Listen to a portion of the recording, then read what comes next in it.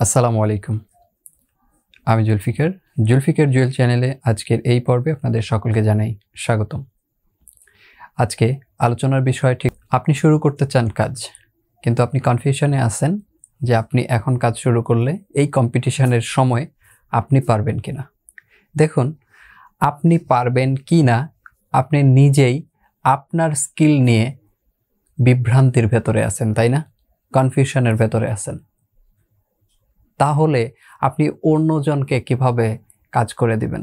প্রশ্ন থাকল আপনার কাছে।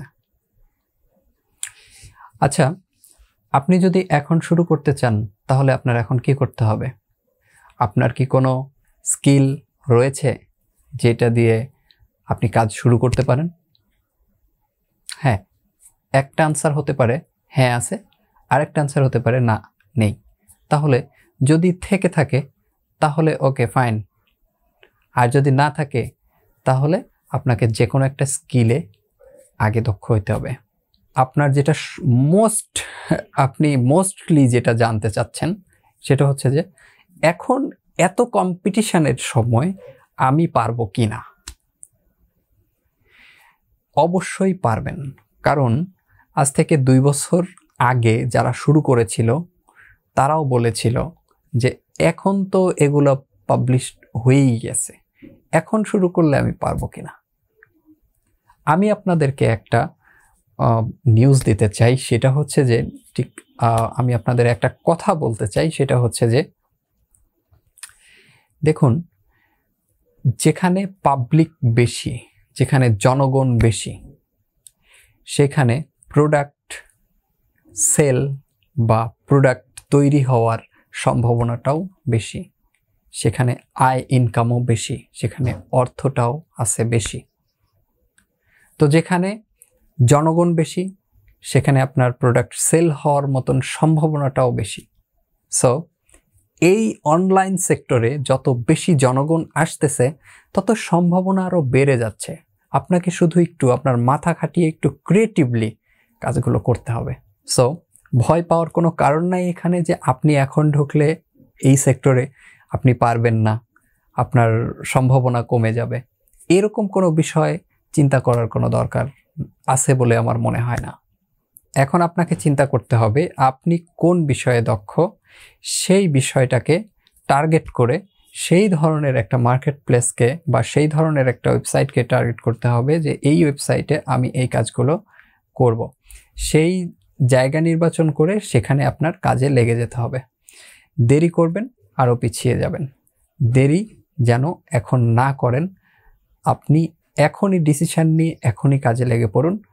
ইনশাল্লাহ আপনি সাকসেস হবেন।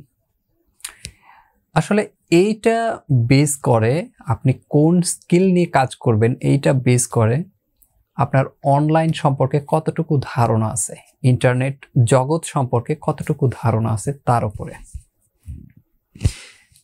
এখন কিন্তু ম্যাক্সিমাম ম্যাক্সিমাম ব্যক্তির হাতে স্মার্টফোন রয়েছে। ইয়াং জেনারেশন প্রতিটা পার্সনের কাছে স্মার্টফোন রয়েছে এবং তারা প্রত্যেকেই ভিডিও করতে পারে। ভিডিও চাইলেই করতে পারে এবং সেটা ফেসবুকে আপলোড করতে পারে। একটা উদাহরণ দিচ্ছি। ধরুন আপনাদের বাড়ির পাশে যে বাজারটা রয়েছে না, একটা বাজার আছে, সেই বাজারে কতগুলো লোক থাকে? সেটা আপনি একটু হিসাব করেন যে কতগুলো লোক সেখানে থাকতে পারে। যখন আপনাদের বাজারের দিন হয় বা হাট, হাটের দিন হয়, বড় জোর সেখানে পাঁচ হাজার লোক হয়, দশ হাজার লোক হয়, বিশ হাজার লোক হয়। তো সেইখানে আমরা কোনো প্রোডাক্ট সেল করার উদ্দেশ্যে নিয়ে যাই। কারণটা কি? কারণ হচ্ছে সেখানে অনেক লোক আসবে, সেখানে অনেক ক্রেতা থাকবে, সেখানে আমরা আমাদের কোনো প্রোডাক্ট নিয়ে গেলে সেটা সেল হবে এবং আমরা কিছু বেশি অর্থ উপার্জন করতে পারব রাইট এই উদ্দেশ্যে আমরা কিন্তু কোনো প্রোডাক্ট সেখানে নিয়ে যাচ্ছি, বিক্রি করার, বিক্রি হবে সেটা সেই উদ্দেশ্যে। আমরা জানি যে ওখানে নিয়ে গেলে বিক্রি হবে, কারণ ওখানে ক্রেতা অনেক বেশি। আচ্ছা এখন আপনি সেখানে কি ধরনের প্রোডাক্ট নিয়ে যাচ্ছেন? আপনার হয়তো মাঠের কোনো ফসল অথবা বাড়িতে উৎপাদিত কোনো পণ্য, সেটা হতে পারে। আপনার বাড়িতে হাঁস মুরগি পালন করছেন, গরু, ছাগল পালন করছেন, মাঠে কোনো ফসল উৎপাদন করছেন। তো আপনি অনলাইনে যখন আসছেন, তখন আপনি জানেন যে আমি এই প্ল্যাটফর্মে ঢুকলে আমি এইখানে এই ধরনের ব্যক্তি বেশি পাবো। ধরুন ফেসবুকে যদি আপনি ঢোকেন, তাহলে ফেসবুকে ম্যাক্সিমাম ব্যক্তির কিন্তু অ্যাকাউন্ট করা আছে। আর আপনার যারা ফ্রেন্ড লিস্টে যারা আছে, তারা, আপনি যখন কোনো পোস্ট করেন, তখন তারা সেটা দেখতে পায়। রাইট তারা সেটা দেখতে পায়, সেখানে একটা লাইক কমেন্ট শেয়ার এই ধরনের কাজগুলো করে, তারা এঙ্গেজ হয়। ফেসবুক থেকে আপনি যদি কোনো প্রোডাক্টের বিজ্ঞাপনের জন্য, আপনি যদি ফেসবুকে কোনো সময় পোস্ট করেন তাহলে আপনার সর্বোচ্চ পাঁচ হাজার লিমিট আছে ফ্রেন্ড লিস্টে ধরে নিলাম আপনার পাঁচ হাজার ফ্রেন্ড আছে। তাহলে পাঁচ হাজার ফ্রেন্ডের মধ্যে সেটা চলে যায়। তখন এরা কিন্তু এটা দেখে। তাহলে পাঁচ হাজার ব্যক্তির একটা পসিবিলিটি আছে সেইটা আপনার কেনার। একটু চিন্তা করেন, আপনি যদি আপনার যে মুরগি পালন করেছেন, সেইটা যদি আপনার যদি এক লক্ষ ফ্যান ফলোয়ার থাকে তাহলে তার ভেতরে যদি আপনি ওটাকে উপস্থাপন করেন, তাহলে সেটা বিক্রি হওয়ার সম্ভাবনা কতটুকু? এক লক্ষ ফ্যান ফলোয়ার যদি থাকে আপনার, তাহলে ওটার বিক্রি হওয়ার সম্ভাবনাটাও অনেক বেশি। কারণ আপনি হাট বাজারে নিয়ে যাচ্ছেন, সেখানে আপনার বিক্রি হওয়ার সম্ভাবনা বেশি তাই। সেখানে বিশ হাজার ব্যক্তি আছে, কিন্তু আপনারা যখন এক লক্ষ ব্যক্তির সামনে সেটা উপস্থাপন করবেন, সেটা বিক্রি হওয়ার সম্ভাবনা তো বেশি।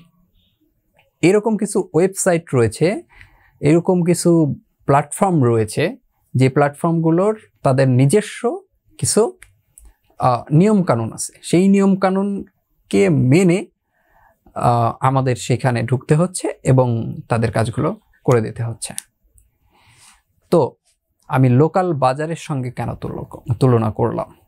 কারণ হচ্ছে, দেখুন, অনলাইন মার্কেট প্লেস শুধুমাত্র একটা না। ঠিক তেমনি হাট বাজারও একটা না। হয়তো দেখা গেল যে আপনার বাড়ির পাশে একটা বাজার আছে, আপনার জেলা শহরের একটা বাজার আছে, আপনার বিভাগীয় শহরের একটা বাজার আছে, তাই না? এখন কোন বাজারে সব থেকে বেশি প্রোডাক্ট থাকবে, এটা আপনি চিন্তা করেন। এবং কোন বাজারের মান কেমন হবে, সেটাও চিন্তা করেন। ঠিক তেমনি অনলাইনে এরকম অনেক মার্কেট প্লেস রয়েছে, সেই মার্কেট প্লেসগুলোর এইরকম প্রকারভেদ রয়েছে। কোন মার্কেট প্লেসে যাবেন, কীভাবে কাজ করবেন, এটা সম্পূর্ণই আপনি দেখে, শুনে, বুঝে সেটা করবেন। ক্লিয়ার তো এখন এই যে ওয়েবসাইটগুলো রয়েছে, এই সমস্ত ওয়েবসাইটগুলোতে কোথায় কি অপরচুনিটি রয়েছে, এগুলো আমাদের খুঁজে বের করতে হচ্ছে। এবং বের করে কোথায় আমার স্কিলটা আমি কাজে লাগাতে পারব সেইটা আমাকে ঠিক করে সেখানে কাজ করতে হচ্ছে। তো এখন আপনি শুরু করতে চাচ্ছেন, আপনি শুরু করতে চান, তো আপনি কি নিয়ে শুরু করতে চান? কোন কাজটা শুরু করতে চান? কীভাবে শুরু করতে চান? এটা নিয়ে যদি কনফিউশনে থাকেন, তো আমি আপনাকে বলব যে আপনি কোনো স্কিলে আছেন কিনা? মানে আপনি কোন স্কিলে দক্ষ? দেখুন তো। অর্থাৎ আপনি একজন ব্যক্তিকে একটা সার্ভিস প্রোভাইড করলে তবেই সে আপনাকে তার বিনিময়ে অর্থ দিবে, টাকা দিবে। তাহলে আপনি কি ধরনের সার্ভিস প্রোভাইড করতে চাচ্ছেন? এটা আগে ঠিক করুন। দেখুন, আমি যদি পপুলার কিছু সাইটের কথা বলি, যেমন হচ্ছে ইউটিউব ফেসবুক যেটা মিডিয়ার সাইটগুলো বলতেছি ইউটিউব ফেসবুক ইনস্টাগ্রাম তাই না? এই ধরনের যে সোশ্যাল মিডিয়াগুলো আছে, এই মিডিয়াগুলোতে এক ধরনের কাজ হয়ে থাকে। সেটা হচ্ছে, সেখানে কিছু কন্টেন্ট মেকিংয়ের কাজ। তো আপনার বিষয়টা হচ্ছে যে, আপনি যখন কোনো কন্টেন্ট মেক করবেন, সেই কন্টেন্টটা দিবেন যেন জনগণ সেইটা দেখে। আর জনগণ কেন দেখবে? সেটাও আপনি নিশ্চয়ই জানেন। তারা কোনো ইনফরমেশন পাওয়ার জন্য দেখবে, নয়তো বিনোদনের জন্য দেখবে। আসলে এটাই হচ্ছে সিস্টেম এবং আপনি সেখানে যদি কন্টেন্ট মেকিংয়ের কাজ করেন, তাহলে সেখানে কিছু জনগণ, কিছু ভিউয়ার আপনি পাবেন, যারা ওটা ভিজিট করবে, ওটা দেখবে। তার মাঝখানে চট করে একটা বিজ্ঞাপন চলে আসবে। যে বিজ্ঞাপনটা এসেছে সেই বিজ্ঞাপনের জন্য আপনাকে পে করা হবে। এটা হচ্ছে একটা সিস্টেম আপনি এইভাবেও আয় করতে পারেন।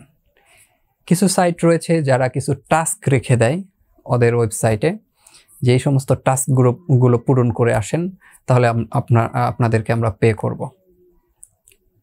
এই ধরনের কিছু কাজ পাবেন। সে কাজগুলো আপনি করতে পারেন।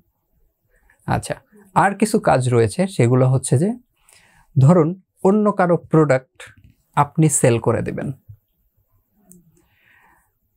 অন্য কারও প্রোডাক্ট অন্য কেউ একটা প্রোডাক্ট বিক্রি করতেছে, সেই প্রোডাক্টটা আপনি সেল করবেন। আপনি সফটওয়্যার তৈরি করতে পারেন। তাহলে আপনি আপনার সফটওয়্যারকে বিক্রি করে আপনি আয় করতে পারেন। আবার আরেকটা বিষয় হচ্ছে যে ফ্রিল্যান্স মার্কেট প্লেস যেটা আছে, যেমন আপওয়ার্ক তারপরে হচ্ছে freelancer dot com Fiverr people per hour এই ধরনের ওয়েবসাইট যেটা আছে, সেই সমস্ত ওয়েবসাইটে এই সমস্ত সাইটে প্রজেক্ট আকারে জব ওপেন হয়। এই সমস্ত জবগুলোতে আপনাকে অ্যাপ্লিকেশন করতে হবে। অ্যাপ্লিকেশন করলে আপনাকে তারা হায়ার করতে পারে। আপনাকে যদি তাদের পছন্দ হয়, তখন আপনি তাদের কাজগুলো করে দিতে পারবেন। সর্বশেষ কথা যে আপনার যেটা মোস্ট, আপনি মোস্টলি যেটা জানতে চাচ্ছেন, সেটা হচ্ছে যে এখন এত কম্পিটিশানের সময় আমি পারব কি না? অবশ্যই পারবেন। কারণ আজ থেকে দুই বছর আগে যারা শুরু করেছিল, তারাও বলেছিল যে এখন তো এগুলো পাবলিশ হয়েই গেছে।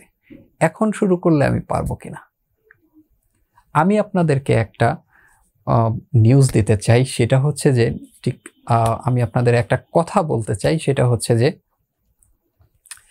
দেখুন যেখানে পাবলিক বেশি, যেখানে জনগণ বেশি, সেখানে প্রোডাক্ট সেল বা প্রোডাক্ট তৈরি হওয়ার সম্ভাবনাটাও বেশি, সেখানে আয় ইনকামও বেশি, সেখানে অর্থটাও আছে বেশি।